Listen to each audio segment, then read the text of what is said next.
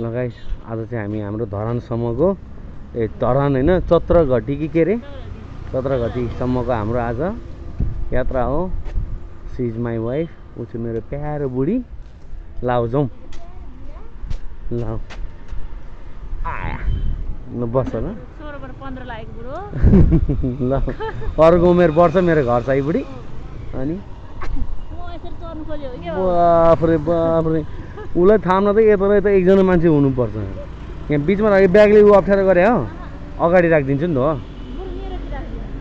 कुन चाहिँ.